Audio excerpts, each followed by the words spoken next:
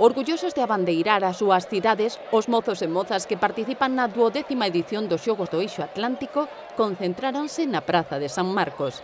É sempre um grande orgulho representar o meu Concello, que é o melhor do mundo. Para mí é unha honra levar a bandeira de Narón, porque estou representando o meu Concello.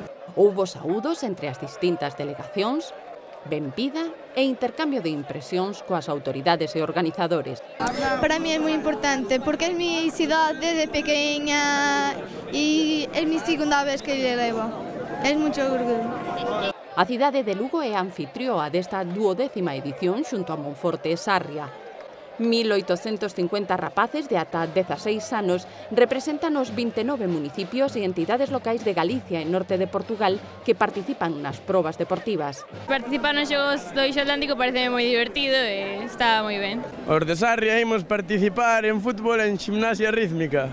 Romanos e castrexos, precedidos por cántigas e flores, abriron o desfile das delegacións que percorreron as rúas de San Marcos e a Raíña, cara a Praza Maior os cabezudos da Nosa Señora da Agonía de Viana do Castelo e os cigarróns de Berín acompañaron a mocidade na súa marcha, pechando filas os caretos de Macedo de Cabaleiros e Braganza. A comitiva chega á Praza de Santa María para tomar parte da cerimonia de apertura. O xogo reúnen a máis de 5.000 persoas entre participantes e membros da organización.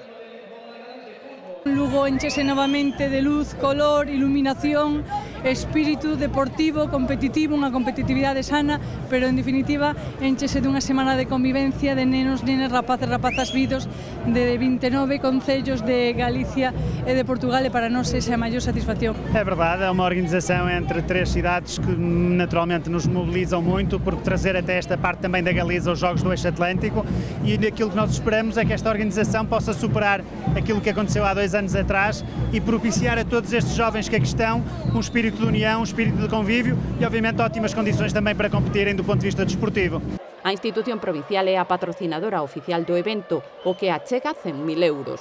A Diputación de Lugo é a que máis invierte en deporte en, en, na comunidade autónoma galega e creo que é unha ledicia ver a Plaza Che de Xuventude nunha provincia que está envellecida eh, rodearse de chavales tamén é, é agradable, non? As competicións desenvolveranse dende este mércores día 5 ata o domingo 9. Participarán en nove categorías deportivas diferentes, incluídas as modalidades adaptadas de atletismo e natación en Lugo. E este evento considero de enorme importância, de grande motivação para os atletas, neste caso natação adaptada, Ehm, em especial para aqueles que menos oportunidades têm no âmbito europeu e mundial. Como novidade, incluen este ano gimnasia rítmica, será en Sarria. Estou moi orgullosa de participar na primeira vez que se faz gimnasia rítmica nos Xogos do Eixo Atlántico. En Monforte xogarán o voleibol. Eh, participamos en natación eh, e voleibol e gimnasia rítmica. Eh, creo que vamos a hacer maior en voleibol. A nos participar nos xogos parecenos que é unha experiencia moi divertida e que é irrepetible, a verdade, porque... Eh, porque así coñeces a xente de outras cidades, eh, eh, faz o que máis te gusta que o deporte realmente. E representamos ao Claro, concello. repre representas o Concello, tamén é un honor, a verdade. A inauguración do xogo rematou cun vídeo con imaxes da provincia de Lugo realizado pola Fundación TIC homenaxes e a entrega do trofeo Xogo Limpo á delegación de Vilanova de Gaia.